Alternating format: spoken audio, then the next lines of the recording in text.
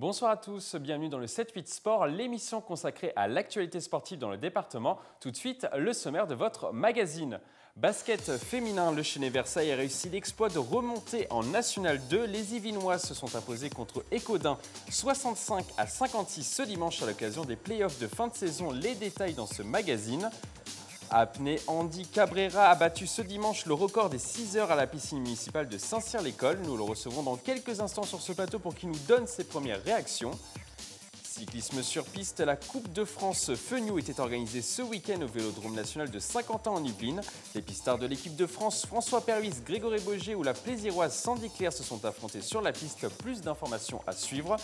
Et puis nous parlerons également du combat du boxeur élancourtois euh, Marvin Petit. Le boxeur élancourtois, la star locale affrontera Dan Seck ce vendredi 27 mai au Cirque d'hiver.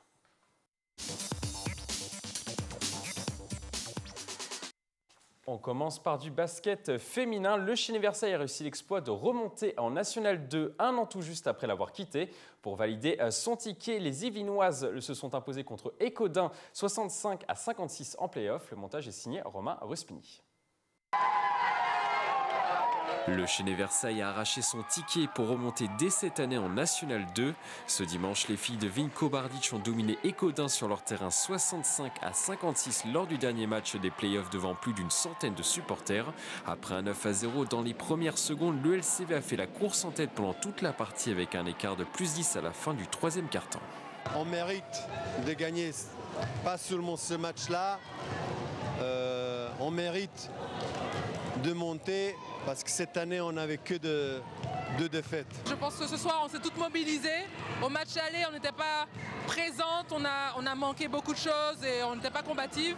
Ce soir on voulait vraiment la victoire et on s'est battu. Premier de la saison régulière avec une seule défaite, le Chenet Versailles termine également sur la première marche du podium des playoffs. Les Yvelinoises affichent donc un bilan de seulement deux défaites en 26 matchs disputés cette saison. Cette année on on était fort, euh, mais c'est toujours très très difficile de monter. Donc euh, on a monté parce qu'on a, on a travaillé très dur. Voilà, c'est ça. On, avait une très très très une équipe très forte sous papier, mais il faut, faut montrer tout, tout, ça sur le terrain. Notre force, c'est l'équipe. C'est vraiment l'équipe parce qu'on a se trouver, rester euh, soudés lorsque c'est un peu difficile et, et c'est ce qui fait qu'on gagne ce soir.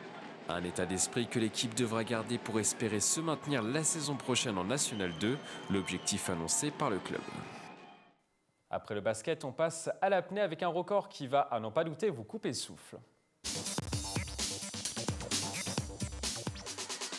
Ce dimanche 22 mai, Andy Cabrera Avila, un apnéiste de 45 ans d'origine cubaine, a battu un record d'apnée à la piscine de Saint-Cyr-l'École.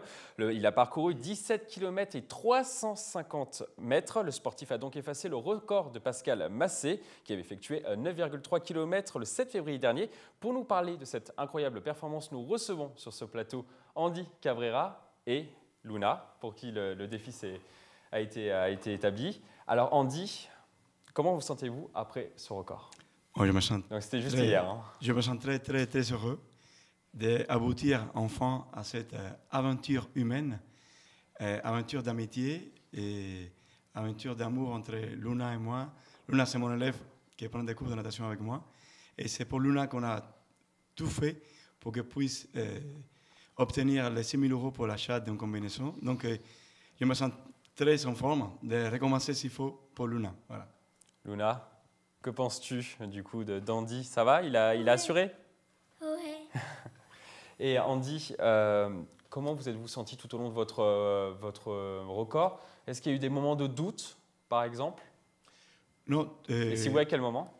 En fait, ça fait deux, deux, mois que je m'entraîne pour cela. Donc, j'étais préparé mentalement, physiquement. La seule préoccupation, c'était la partie physiologique. C'est-à-dire que si on va avec une intensité très importante, on risque d'avoir des crampes. Et les crampes, ça fait qu'après, on doit s'arrêter pour récupérer. Donc, euh, la partie mentale, la partie physique, ça allait. Et la partie physiologique aussi, ça allait. Donc, euh, tout était parfait hier. Le public, les amis, les soutiens, euh, ma famille, mon fils, ma maman, mon papa, Luna, tout le monde était là. Et donc, mon cœur, il battait à fond pour tous. Vous n'avez pas douté? Non, non, jamais. Jamais, jamais et vous avez battu le record, vous avez même doublé le record. C'était attendu? Voilà. Mon objectif, c'était de faire euh, 680 longueurs. Ça fait 17 km 8 poils. Et j'ai dépassé des 694 longueurs. Donc, euh, je n'aurais pu atteindre les 700. Mais au niveau physiologique, j'ai dû m'arrêter pour aller aux toilettes deux fois. Et donc, c'est obligé. Mais sinon, je me suis très, très, très content, très heureux. Il n'y a rien à regretter. Au contraire, de remercier à tout le monde de m'avoir soutenu dans cette aventure. Et comment vous êtes-vous entraîné du coup pendant, pendant ces dernières semaines? Alors, je m'entraîne beaucoup à sec. Euh, je m'entraîne pendant une heure. J'essaie d'arrêter la respiration, ben, une inspiration, 1 minute 30 pendant une heure, avec une seule inspiration. Ça permet de travailler la partie d'adaptation euh, à la hypercapnie. Et deux fois par semaine, je m'entraîne dans l'eau avec des petits palmes. J'essaie de le faire minimum une heure sans m'arrêter. Et ça fait des adaptations physiologiques qui permettent qu'on peut tenir très longtemps. Ensuite, il faut bien s'hydrater. Donc au départ, la stratégie, c'était de m'arrêter tous les 30 minutes. Et après, j'ai choisi de m'arrêter tous les 20 minutes pour pouvoir m'arrêter pendant une minute et m'hydrater avec de l'eau, avec du sucre. Sinon, ce n'est pas possible de tenir plus long. Et vous êtes entraîné avec Luna aussi de temps en temps? Et avec Luna, on a fait beaucoup d'apnée, oui. On, a, on lance des cailloux au fond de l'eau et Luna et avec moi au fond de l'eau, on les récupère. J'ai entraîné mes cuisses en montant avec Luna au toboggan, tous les marches au toboggan et après on glissait. Et voilà, ça fait un entraînement aussi. Et on vous a donné des conseils peut-être D'autres euh, apnéistes vous ont donné des conseils? En fait, euh, pas forcément parce que c'est une discipline toute récente. Il n'y a que deux personnes que je connais qui font l'apnée à longue durée. Et Pascal Massé et Gilles, qui a fait un record de 24 heures. Donc pour le reste, c'est beaucoup de découvertes. Donc euh, moi-même, j'essaie d'ouvrir des portes et voir et tester qu'est-ce qui allait bien pour moi. Et donc euh, j'ai réglé certains paramètres comme la pause tous les 20 minutes, les cycles ventilatoires pour pouvoir répartir. Donc je pars tous les 30 secondes avec 20 secondes de nage maximum et 10 secondes de récupération maximum. Je peux aller plus vite que ça, mais ce n'est pas, c'est pas le, le, le physique, c'est surtout la partie, les crampes qui, qui m'arrêtent. Et avant de commencer ce record, vous saviez déjà que vous alliez le battre? Oui, je l'ai fait déjà. En fait, Vous étiez sûr et certain ah, sûr et certain. La première fois que j'ai essayé, j'ai essayé pendant une heure et demie avec la monopalme. Mais je sentais que c'était très, très, très facile. Et après, j'ai lu que Pascal, il a mis euh, les conditions de ce record, il avait mis avec bipalme. Donc, euh, j'ai choisi de mettre des petits bipalmes, ce sont des palmes de, de natation. Et avec cela, je fais une heure et demie. Après, j'ai réussi à atteindre le record d'apnée de Pascal en 3 heures 13 minutes. Donc la moitié du suite- temps. La moitié du temps. Tout de suite, j'allais directement à la mairie et je parlais avec les, les responsables du sport de la mairie, d'essentiel l'école, avec les maires, avec l'adjoint du maire, et leur dire aujourd'hui, le record est battu, donc euh, je peux assurer. Et tout le monde vous a soutenu du coup. Voilà. Et donc après, j'ai fait encore une fois 4 heures, après une fois 6 heures, avec beaucoup de crampes. J'ai fait 619 longueurs.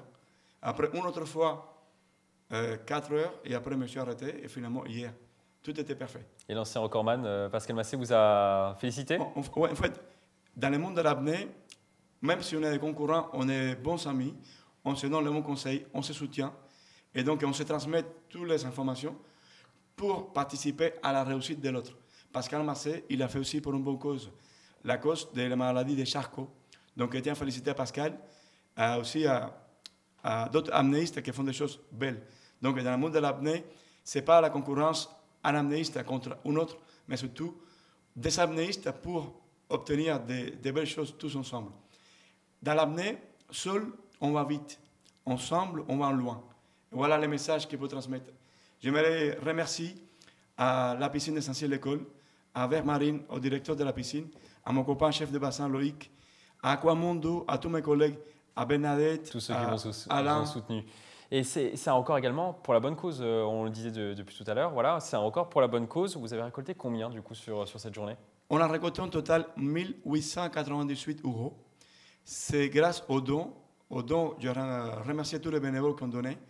On a, on a fait des baptêmes d'apnée à 5 euros. On a récolté 100 euros, donc on a fait 20 baptêmes.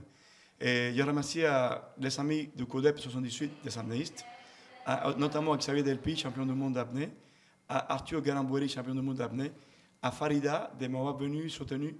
Et voilà, magnifique. Avec tout cet argent-là, Et donc cet argent, voilà, où va aller cet argent? Cet argent est récolté pour Un geste en plus.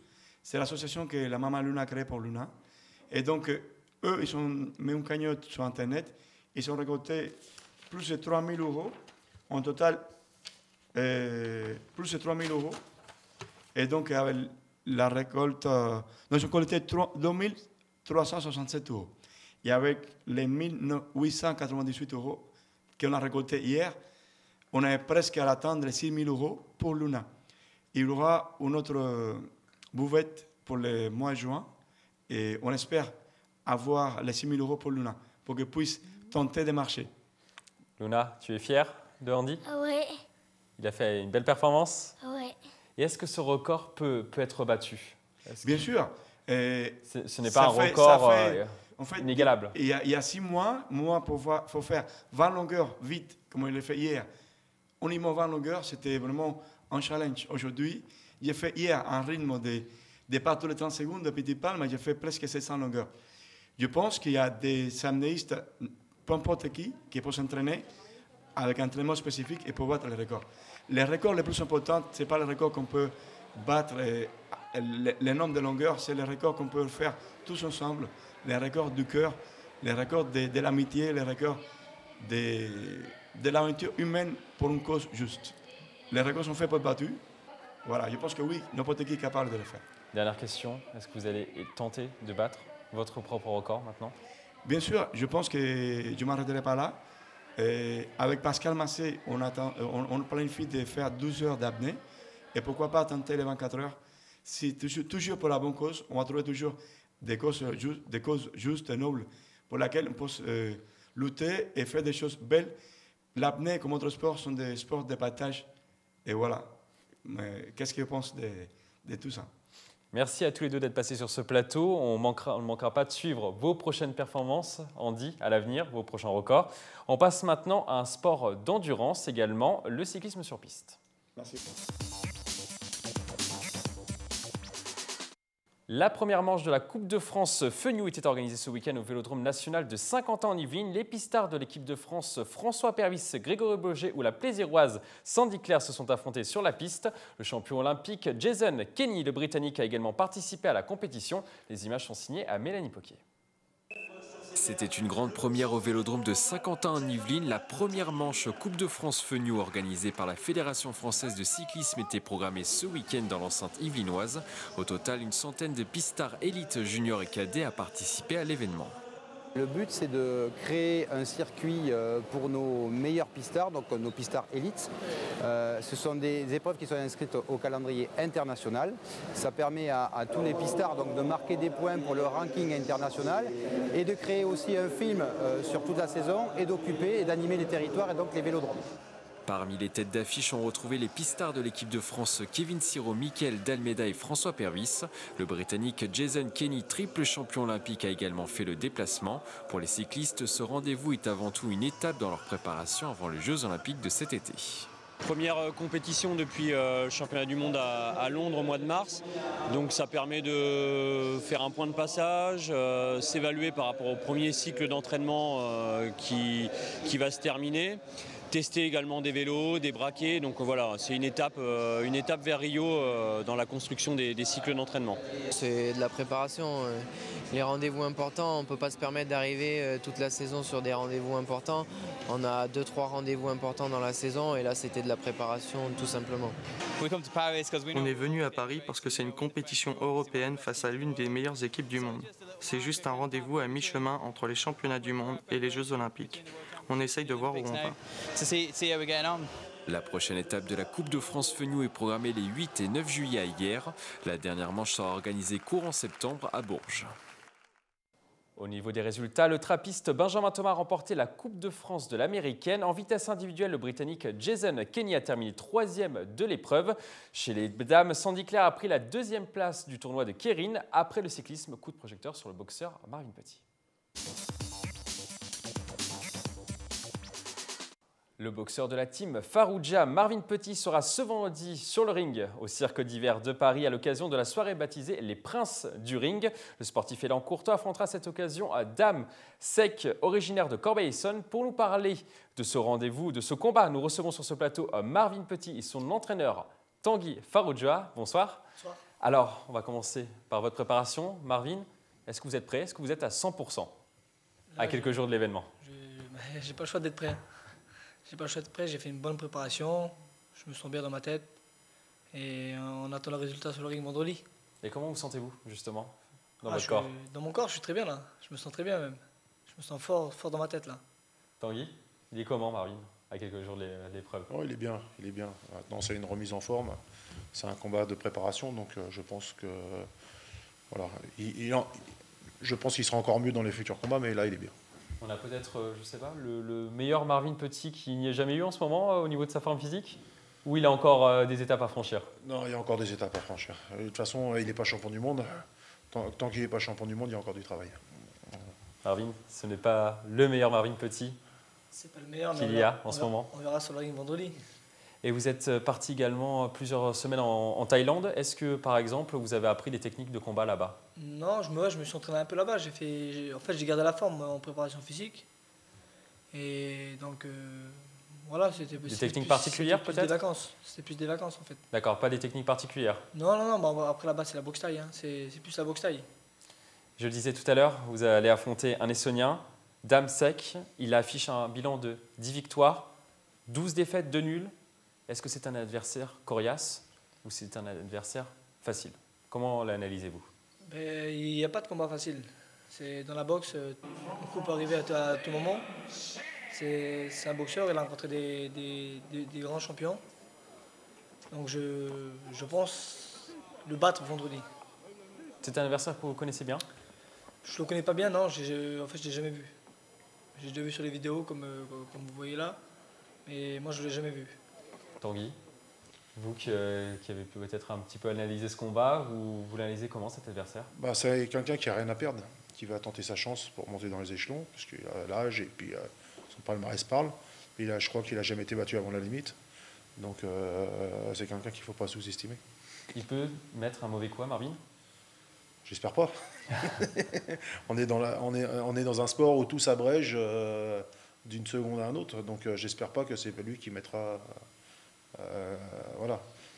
Je disais, 10 victoires, 2 nuls, 12 défaites.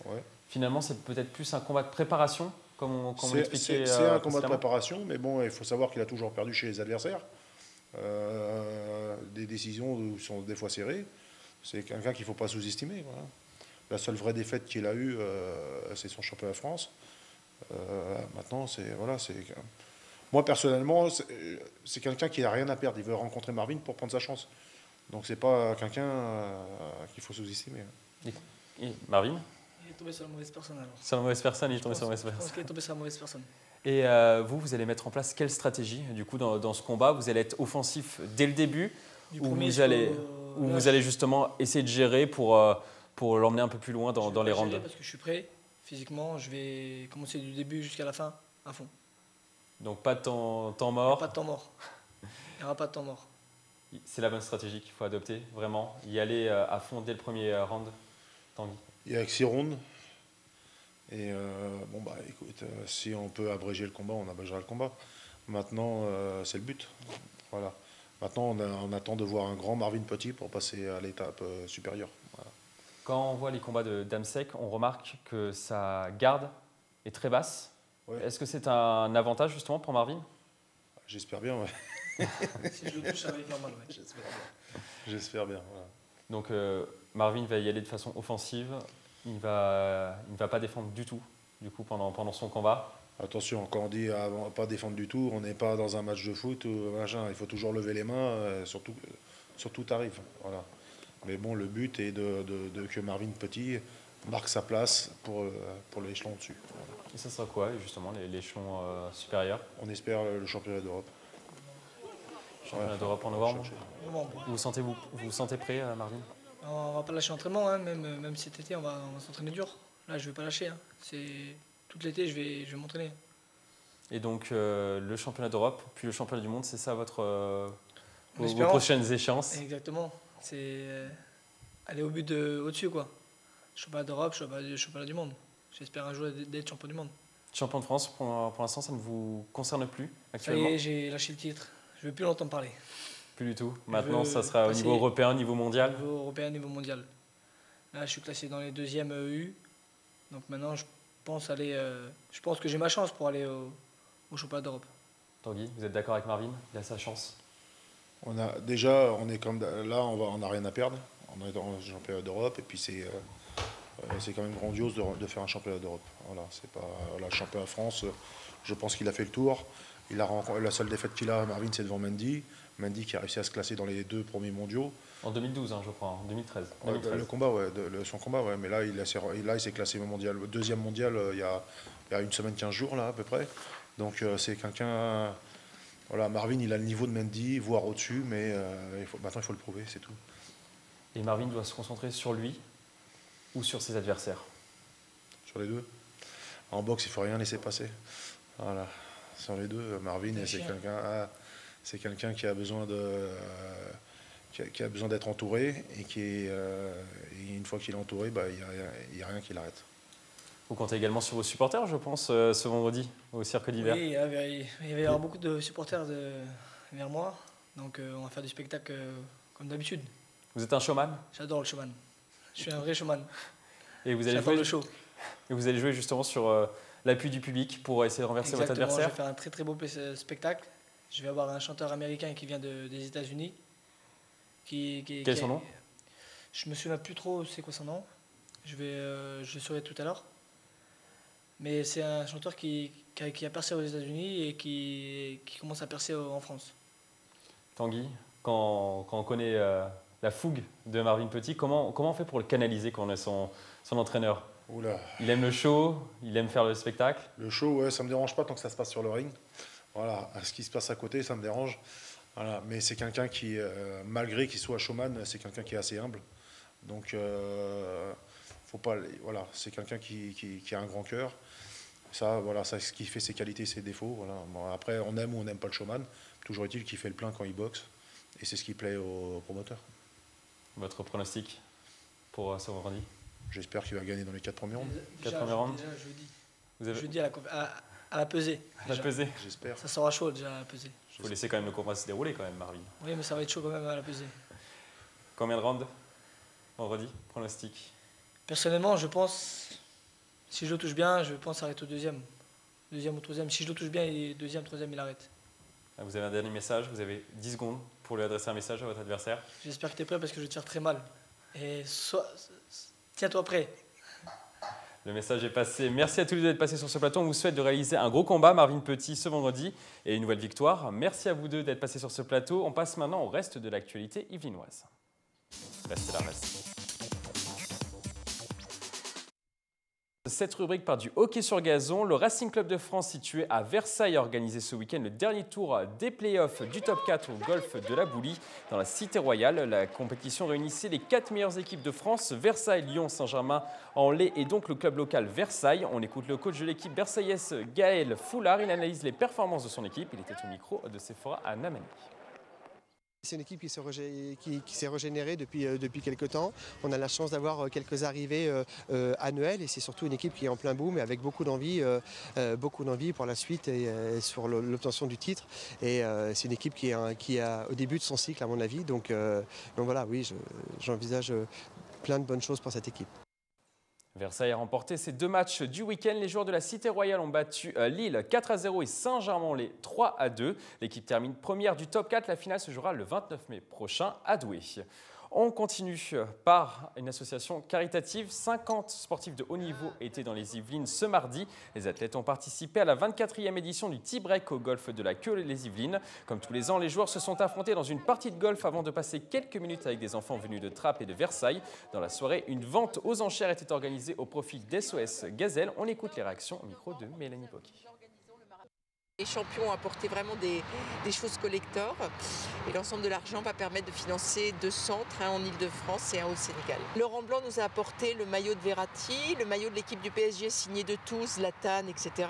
Le ballon, nous avons la raquette de Yannick Noah, les quatre raquettes des quatre finalistes de Coupe Davis, euh, nous avons la veste de Philippe Candeloro, nous avons enfin, des choses très prestigieuses. C'est important pour nous parce que nous, forcément, on prend du plaisir à jouer au golf, mais en même temps, ça ramène des fonds pour une association et qui va aider euh, les enfants. Donc euh, forcément, euh, voilà, quand les deux sont cumulés, on est tous heureux.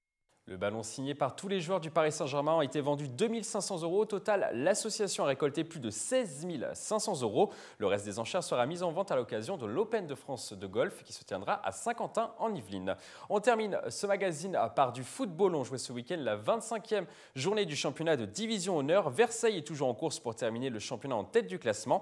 Les Versaillais, deuxième avant la rencontre, ont battu ce dimanche les Mureaux, troisième du classement, 2 buts à 1. Au classement, les joueurs de Youssef Chibi sont à 3 points du premier Créteil-Lusitanos avec un bilan de 16 victoires et seulement 2 défaites depuis euh, le début de la saison. On termine par du baseball. Les Cougars de Montigny-Bretonneux se sont facilement imposés contre Saint-Just-Rambert ce week-end. Les Illymontins n'ont pas fait de détails en remportant la partie sur le score de 12 à 1 à l'extérieur. La deuxième partie a été annulée à cause de la pluie. Au classement, les Cougars sont toujours deuxième avec seulement deux défaites en 9 matchs disputés. C'est la fin de ce 7-8 Sport. Merci d'avoir suivi. Je vous retrouve jeudi prochain pour le talk si on parlait sport. Très belle soirée sur TV Fil 78.